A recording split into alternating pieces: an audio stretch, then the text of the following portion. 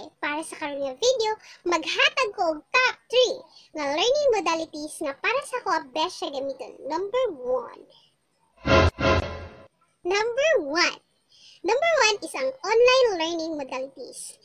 Ah, para sa ko, ah, mas gwapo siya gamiton ang online learning modalities kay Mura lang gihapon ni yung nag face-to-face interaction sa ako ang mga estudyante although wala mi sa classroom.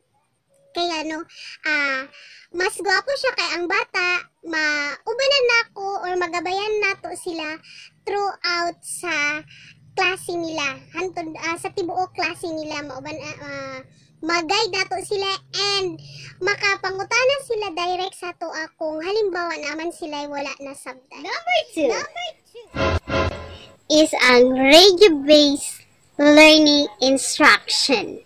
Okay, mas ganahan ko ko sa rad- radio-based learning instruction kay kadtong mga bata nato nga dili kaayo hina sila sa ah, reading kanang makasubaybay lang sila dito through ah, pagsunod nila kung giunsa pod pagbasa sa teacher. Halimbawa sa kanang ah, mga stories pares ganina sa gibuhat ni Ma'am Jessa Angel Nyoda. Hi Ma'am. Ah, hi Ma'am Jessa. Ah, howd kay ka ganina se sobra. Proud kay ko sa imuha.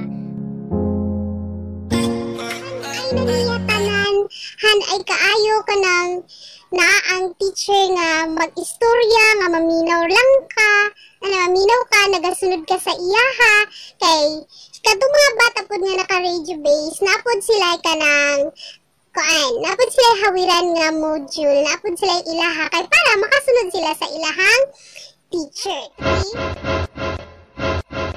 through television. Kay ano kanang sa yun anak man gud nga learning modalities mura ko mura ka og kanang nagsin eskwela nga maminaw ka sa imong teacher nagtan-aw ka nga nakita nimo siya. Ah mas lahi lang mas naay siya kaibahan dito sa modular nga itself. Kay maghatod maghatod ang teacher dito then maghatag og instruction. Tapos ang bata alone or kanang iyahang parents or magulang nga kanang kab uh, nag-eskwela pod mo tay makatabang sa iyaha wherein dili jud as indirect nga mag-guide siya ni teacher pero ah, para sa kanang mga parents nga nag nag- Ginagawa mo.